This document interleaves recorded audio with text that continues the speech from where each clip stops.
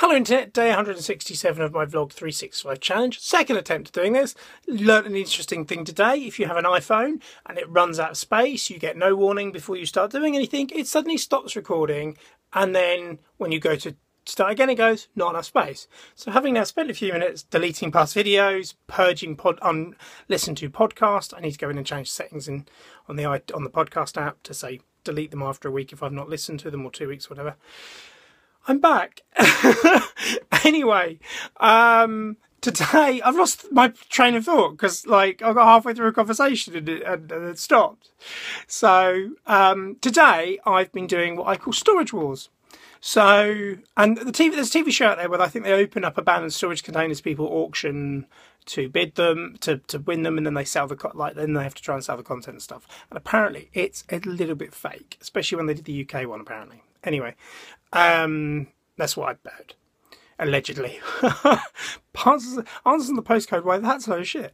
Um, so rewind slightly. So obviously we're we're selling my mum's house very very soon, and I've had to go through all my things. So things I brought back from the house, stuff that's up in the attic, uh, like like my entire basically my entire life of belongings. I had to go through throw a lot of stuff out. You know, if I've not missed it in over ten years, do I need it? Do I not need it? Yes, there's a there's a large pile of memories and sentimental stuff, but actually, like we had a flood ten years ago when I first moved out, and a lot of my stuff got put into storage then, and I'd forgotten about that. And there were like boxes of that stuff going, well, I don't need a jacket. I don't need this pair of underpants from over 10 years ago that's just been stuffed in a bag or something. You know, there's a bag of clothes from over 10 years ago. And I go, why is this here? So they just went. But anyway, so we can sell the house, you know, uh, do deep clean it, do a little bit of decorating if we need. We want to clear all my stuff out. So today I've been going around all the different storage companies, not physically on their websites, and I don't want to say, well, you're playing them off against each other to be fair, because they all have these like price beat promises, and you should do it absolutely, and keep doing it until you hit a wall. So when I first started looking, I think the well, first started looking the mainstream ones. We were looking at something like, and this is for a 50 foot storage space. The mainstream ones I was looking at was something like. Um, uh, 17 pounds per week and for the first eight weeks and they double because they all seem to be doing this like eight weeks half price thing. And then I found a very small, well, unknown one that I didn't really know of. I think it looked like an independent one, doing it for a lot cheaper. So I contacted one of the main firms and spoke to their HQ, but I didn't know because I rang the local number and they said they'd honour it and actually beat it by 10%. About an hour later, they said they'd email it to me and they never did. Um, but that, that it was a quotation, their calls were recorded. About an hour later, the store manager from the local branch rang me and went, No, we can't do it uh, we don't price match that company because it's not true like for like. And I went, well, the problem is, is your bloke on the phone has said he would, and he used the word quotation and the amount, and then so that that has to be bound.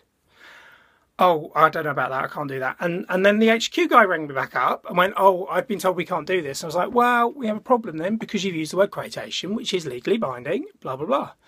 And in the meantime, because of all this messing about, I'd contacted one of the other big mainstream ones, probably one of the biggest in the country, to go, so and so company's quoted me so and so. Can you can you do anything? You know, what can you do? And so company one eventually did put it in writing, email, came back to me, put it in email saying yes, they would honour it. And so I'd gone from like seventeen pounds something to eleven pounds something.